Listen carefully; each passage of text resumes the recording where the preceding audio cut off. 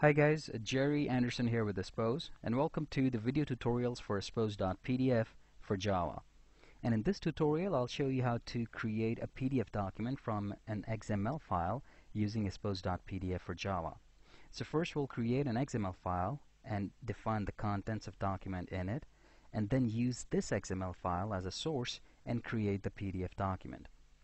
Just so you know, this demo is generated in evaluation mode, so to work with the components in its full capacity, you need to have a valid license. And to find out how to apply an Aspose.pdf license, please visit aspose.com and check the documentation. So now let's create a Java console application, and you can choose any name for the project.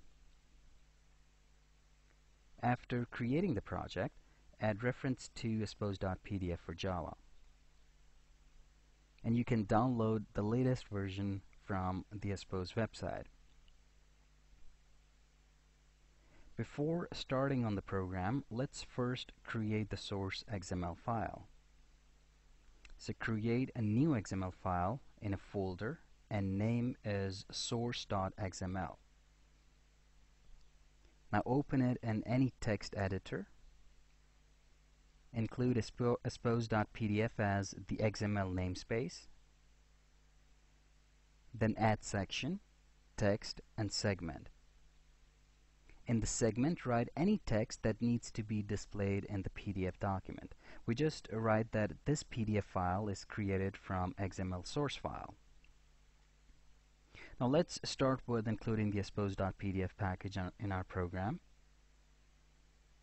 Now create an instance of the PDF class, then bind the XML with the PDF instance.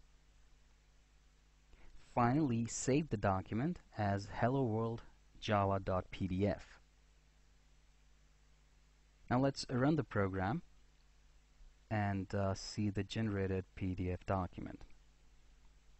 And as you can see that the PDF is created with the string value that we specified in the source XML file.